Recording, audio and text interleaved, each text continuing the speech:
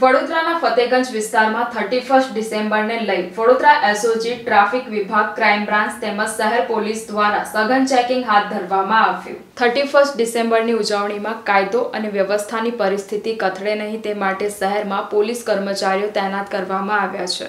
એટલું જ નહીં બોડી વોર્ન કેમેરા અને બ્રેથ એનાલાઇઝર સાથે પોલીસ કર્મી તેમજ મહિલા ક્રાઇમની વિશેષ ટીમ તમામ ગતિવિધિઓ પર બાજ નજર રાખશે. થર્ટી ફર્સ્ટ ડિસેમ્બરને હવે ગણતરીના દિવસો જ ગણતરીના કલાકો બાકી રહ્યા છે ત્યારે વડોદરા શહેરમાં કાયદો અને વ્યવસ્થાની પરિસ્થિતિ કથળે નહીં તે માટે પોલીસ એક્શન મોડમાં આવી ગઈ છે. શહેરમાં છ ડીસીપી, સોળ એસીપી મળી બે પોલીસ કર્મીઓ તૈનાત રહેશે ત્યારે એસઓજીના સ્ટાફ દ્વારા વાહન ચેકિંગ અને અબોટ મોબાઈલ કિટનો ઉપયોગ કરવામાં આવ્યો. આવનાર થર્ટી ફર્સ્ટ ડિસેમ્બરની ઉજવણી અને સુરક્ષાના ભાગરૂપે પોલીસ તંત્ર દ્વારા સીસીટીવી સર્વેલન્સ, બોડી વોર્ન કેમેરાનો ઉપયોગ, બ્રેથ એનાલાઇઝર, ડ્રગ્સ ટેસ્ટિંગ કિટનો પણ ઉપયોગ કરવામાં આવશે. મહિલાઓની સુરક્ષા માટે મહિલા ક્રાઇમ બ્રાન્ચ અને સી ટીમ દ્વારા રોમિયોગીરી કરતા રોમિયો પર નજર રખાશે. આમ થર્ટી ડિસેમ્બરની ઉજવણીને લઈ શહેર પોલીસ કાર્યરત થઈ કોઈપણ ઘટનાને પહોંચી વળવા સક્ષમ છે. વડોદરાના શહેરીજનો ઉલ્લાસ સાથે કાયદો વ્યવસ્થા જાળવીને ઉજવણી કરશે તેવી અપેક્ષા અને અનુરોધ વડોદરા શહેર પોલીસ તંત્ર દ્વારા કરવામાં આવ્યું છે. આ નવા વર્ષમાં યુવાધન નશા મુક્ત રહે તેવી ઈચ્છા પણ વડોદરા શહેર પોલીસે વ્યક્ત કરી છે. ફતેગંજ